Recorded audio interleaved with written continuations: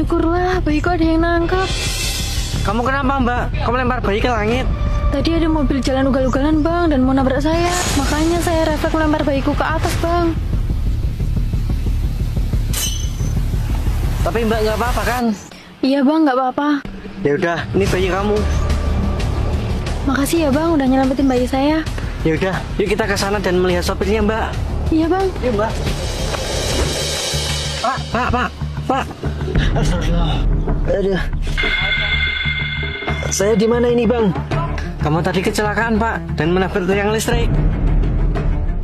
Tapi bapak nggak apa-apa kan pak? Iya bang, aku masih selamat kok. Tolong bantu aku ya bang. Iya pak, eh, saya bantu keluar. Iya bang.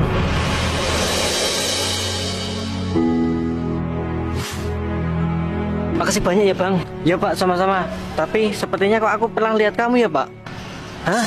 Pernah lihat saya? Di mana bang? Bapak kan yang waktu itu latihan setir mobil. Kang, bisa nggak sih kalau SIMku diproses sekarang aja? Aduh, belum bisa mas. Kamu kan belum lancar nyetirnya. Tapi Kang, aku itu mau segera pakai mobilku ini di jalan. Hah? Belum bisa nyetir, tapi sudah minta SIM. Hmm, bisa sih mas. Tapi harus nembak dan biayanya dua kali lipat. Nggak apa-apa Kang, yang penting cepat jadi. Yaudah, aku transfer sekarang ya. Boleh boleh mas, bisa diatur. Iya betul. Bapak kan yang waktu itu nembak SIM, tapi belum lancar nyopirnya kan? Eh, iya bang. Oh jadi bapak simnya nyokok ya? Pantesan tadi nyetirnya ugal-ugalan. Iya mbak, saya minta maaf. Kalau tadi bayiku sampai kenapa-kenapa, aku tuntut kamu.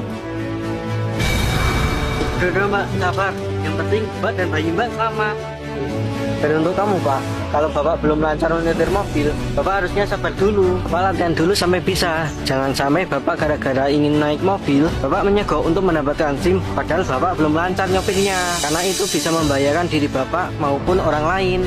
Iya Bang, saya sadar saya salah. Sekali lagi maafin saya ya Mbak. Iya pak, saya maafin. Likey